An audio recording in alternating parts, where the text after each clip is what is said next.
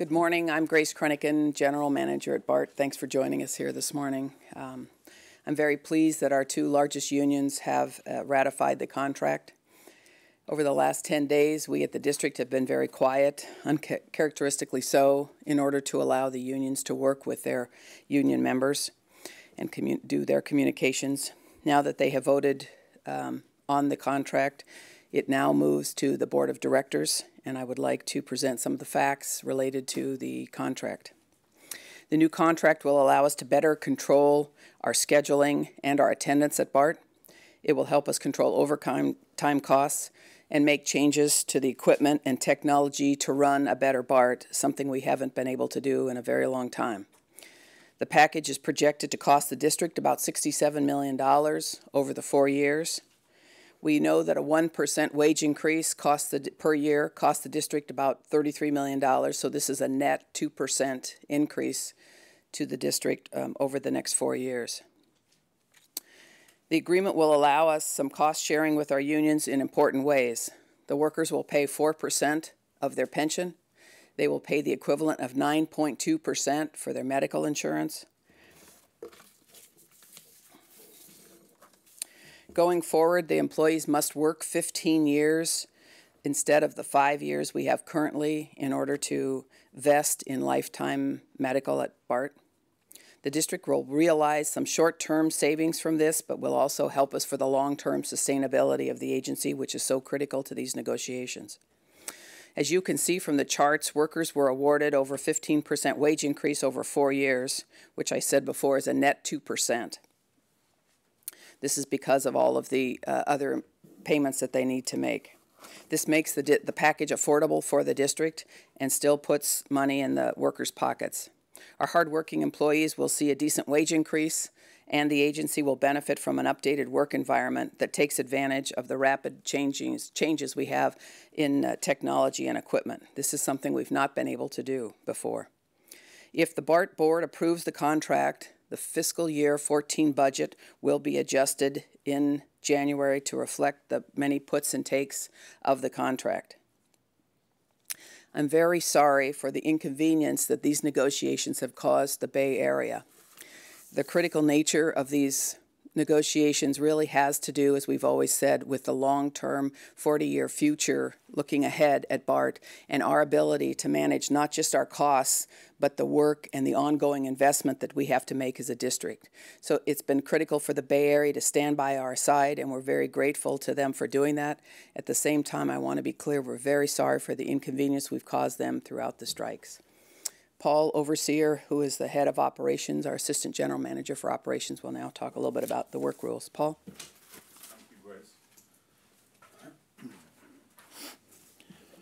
BART's new four-year labor agreement lays the foundation for continued reliable service for years to come. As you know, reliability is our brand, and this contract will help us to modernize our technology, streamline operations, and reduce waste, all of which will help BART keep pace with change and also to maintain our signature reliable service. BART and its unions have reached agreement on tough issues in this negotiations that had remained unresolved for years. These changes will save the riders and taxpayers money. In operations, we will carefully monitor uh, our operating costs and work closely with the budget department at BART to quantify the savings from this contract and to make sure that we get the benefit of this bargain. The most significant change in this agreement has to do with the so-called beneficial past practices clause we were able to nego negotiate significant changes in this language. In the past, this language has hindered, hindered BART's ability to fully implement new technology and equipment. Going forward, we will still consult with our unions and workers about the impact of these changes, but the language will allow us to adapt new technology and new equipment and implement it more quickly no more roadblocks to communicating electronically instead of by fax, machine, or handwritten notes. This new language will allow BART to make the most of new and improved technology and equipment. Whether it be the new railcar fleet of the future, the use of wireless handheld devices by our maintenance personnel out in the field, electronic job assignment bidding by our employees, or the introduction of some other new piece of equipment that either improves productivity or the quality of our product, changes in the beneficial past practice clause of this contract represent a significant step forward for BART and its riders. Management also gained the right to schedule work for our maintenance personnel working on projects as either five days a week, eight hours a day shifts, or 410 shifts. This change will allow us to manage and better meet deadline for these projects, things like the rail car floor replacement, mainline switch replacement, and escalator rehabilitation projects. Attendance should also improve because employees in ATU will no longer be allowed to take unpaid leave during the work week and then make overtime by working on their days off. By closing this loophole, BART will save on overtime costs by encouraging workers to come to work on their regularly scheduled work days. With that, um, we'd be happy to answer any questions, either Grace or Carter Mau, our head of budget, or myself. Thank you. Questions? Can, can you talk a little bit about the new technology? Um, what are the, you speak about new rail cars. You, you did, Paul, about the new rail car. What can you be more specific about what these cars will look like, what they'll be able to do, and why why you feel they're so important to have? Well, the new rail cars really represent the future of BART, and the language that we were successful able to negotiate in this contract will really allow us to take advantage of the new technology that comes with the rail cars it will allow us to fully implement and fully make use of the latest and greatest in technology, things like wireless communication regarding the status of the cars back to our shops, automated announcements. All of the features of these new cars, which represent a giant step forward uh, in terms of compared to what we operate today, will be able to take full advantage of as a result of the language in this contract. I think it's important to note that the contract itself has a clause in there which says uh, that we can make changes in the way we do our work rules except by mutual agreement only. So when management tries to manage in the old contract, we were only able to do it with the union's approval. So management never really got to manage under the old contract. This was an essential provision for us to move forward over the next 40 years and let management help shape where we need to go. We will meet and confer with the union on the changes that need to come forward, but as technology improves, we need to improve with it and this allows us to sit down, work through the items with the union, but still make the decisions to move ahead. That was the critical gain we got in this contract. We have a very um, outdated contract, and you can only make so many gains in each contract, and it's important for management to do that, and that's what we did. Grace, um, the uh, uh, union said despite the overwhelming uh, approval of the tentative agreements, there is a huge rift between the workers and management because of the negotiations and how contentious they were. What are your thoughts on, on going forward and improving the relationships with the, with the unions and the workers? Um, well, we were, if you back it up a little bit, we were willing to talk at the end of the federal mediator's participation, which, you know, it's questionable as to where that left us. But um, we've always been willing to talk. It was the union that walked out, and if the union is interested in talking, uh, we definitely are. Um, we also have a monthly meeting with the union presidents. Uh, those will start up again in December. And the contract calls for several committees to be established to discuss issues that are important to the unions. We'll all take full advantage of that to help communicating. I think it's important to focus on the work, but it's also important to focus on the individuals there. And we've got a great workforce, as I've always said, and I think we'll continue to work together very successfully. Everyone has to get through this time, but, but I think we'll do it. And Grace, when might the board vote on this? And then also, I just want to clarify, because ATU said this morning, their understanding is that AFSCME also has to ratify the contract. Um, the BART board will vote on this not this coming week, but the week after. We're scheduling a meeting with them, probably as we speak. Um, and then AFSCME has its own contract. Its contract is different than ATU and SEIU. that's been one of the difficulties of this contract is that some of the provisions between the two unions were all were tied together. So we had to deal with two unions at the same time, and they didn't always get along. So maybe a question for them, but do you know when when they're scheduled to vote? Uh, AFSCME is going to take 30 days to review their contract. So 30 days from last week. Any other questions?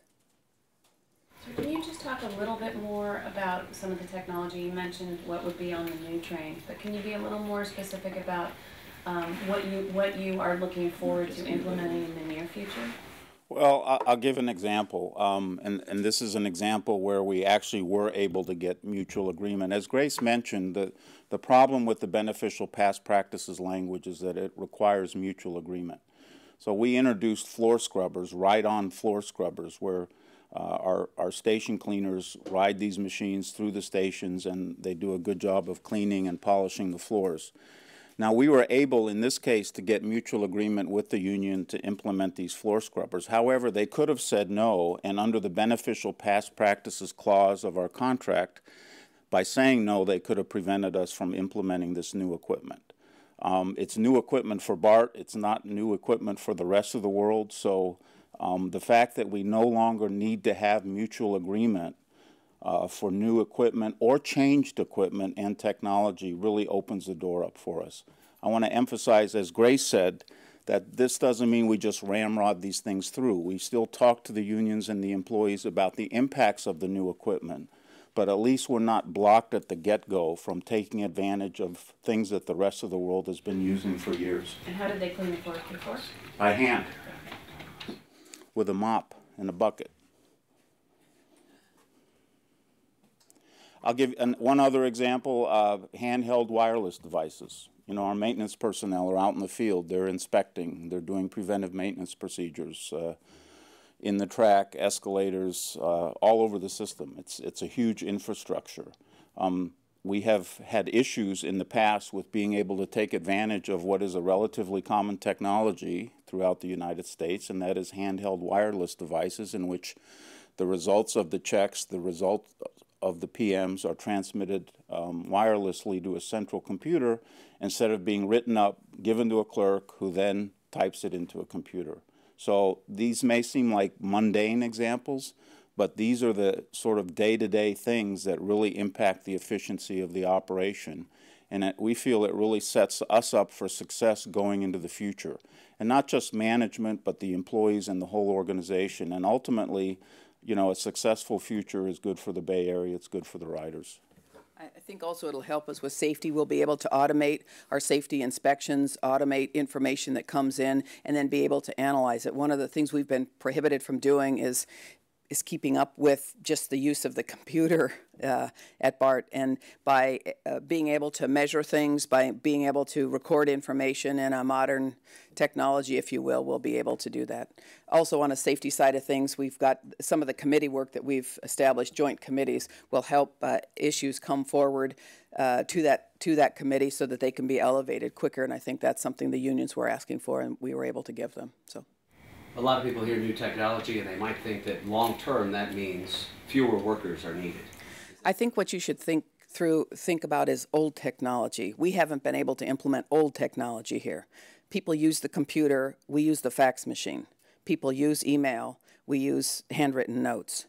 We really are talking about being able to put old technology into account. You have no idea how antiquated this contract was. When I first got to BART, um, and people were talking to me about various procedures and processes we have here, and I would ask questions about them. I would get this answer back, well, that's not the way we do it at BART. Well, that's not the way we do it at BART. Well, that's not the way we do it at BART. And I finally took to saying, you do know out in the world it is done other ways. And sometimes there were these shocked looks on the face like, really? Because we, we got established in 1972 and everyone's stuck in 1972 in a lot of ways. And our contract is stuck in 1972. And what we fought for in this contract was the right to modernize and the right to move ahead and I think it doesn't translate. I think the Bay Area was a little shocked at the, as we, we slightly, but at the dollar amounts that were on the table. But those were mitigated with contributions from the workers. From a financial point of view, we got money back on those things to help us share with the risks coming ahead. But we also got these work rules, which you, you would be stunned at the ridiculous way this place operates. Um, because everything has to get the union's permission to introduce new technology. So it's not, I don't think we're looking at eliminating workers' jobs at all. What we're looking at is modernizing the work that we're doing here, and we'll receive some dollar benefits from it, but we'll also receive some productivity and let them, you know, Silicon Valley is so close, yet it is so far away from this agency. So we're really introducing the past. Are you going to defend yourself, or you have been here a while? So I, I just want to elaborate. I mean, it's a natural question to ask. You know, we t- management talks about productivity and efficiency, and a lot of times what workers hear is you know fewer positions, and that's really not what this is about. Now, nobody can guarantee, you know, what the ups and downs are of the economic cycle and whether we're going to have budgetary problems in the future or not. But what the, this productivity and efficiency is about fundamentally is providing a better product. It means cleaner stations, it means escalators at work, it means cleaner rail cars. We want to reinvest in the system with, with these gains that we've uh, achieved in this contract. It's not about reducing jobs, it's about providing an even better product than we provide today. So uh, Paul's comments also take it's about the law. This contract is about the long-term sustainability of BART, and the reason we feel good about it. And there's a lot of reasons to feel bad about the process that got us here, but the reasons we feel very good about this process is because, uh, not the process, but the reason we feel very good about the product is because it will allow us to carry this uh, agency forward to provide services to the Bay Area for a long term, uh, a long, long time and we've got both the funding in place to do that. Uh, there will be a fare increase in January that was set up last February. That increase will continue to be dedicated to infrastructure investment. That's what we were fighting for. We didn't want to accept a package that would take away from the investment in that system. We got these new work rules. Now, what's on us is to manage better management I, I got to tell you uh, coming on sorry paul not not all about you but um, coming on, I had heard a lot of reasons why we couldn't do things. I heard that we were not able to uh, make some of the improvements. I, I, asked why we couldn't do this, why we couldn't do that, and the answer I always got back is, "Well, the unions won't let us. It's in the contract." Well, I think the union members are interested in moving forward as well.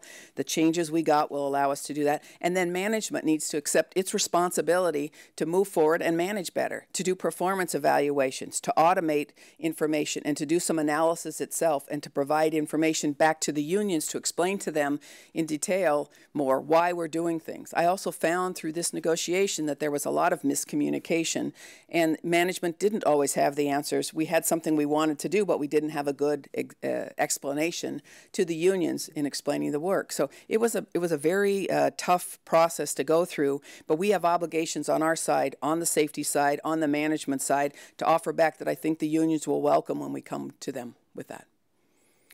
Any other questions? the BART board wouldn't uh, approve this? The BART board is, uh, I hope that they accept the contract, but they're elected officials and they will take it as they see fit.